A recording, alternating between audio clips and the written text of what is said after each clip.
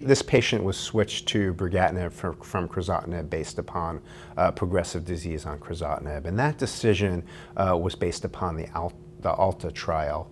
Uh, for which brigatinib was FDA approved. That trial treated patients who progressed on crizotinib uh, with brigatinib.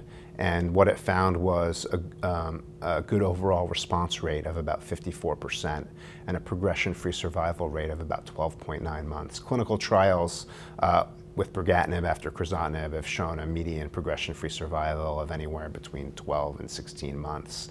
Uh, and that is uh, numerically a very good number. Uh, that it also gets good blood-brain barrier penetration, which makes a lot of sense for this patient who has these asymptomatic brain metastases. And so I think it makes sense to choose brigatinib uh, as a treatment for this patient. Uh, alectinib could also be considered as well. Brigatinib is a next generation ALK inhibitor uh, that does have some unique uh, features in terms of the spectrum of mutations it may have activity against.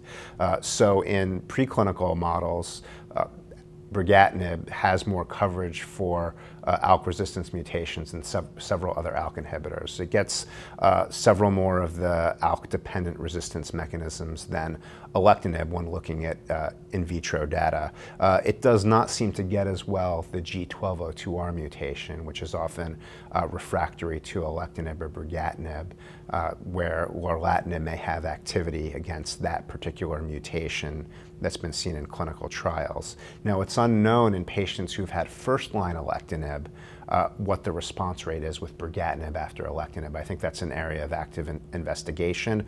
You would expect, uh, based upon the preclinical data, that some mutations may be more sensitive than others to brigatinib uh, when patients have progressed on alectinib. But certainly, uh, after crizotinib, there's a clear indication for uh, treating this patient with a next-generation ALK inhibitor such as brigatinib.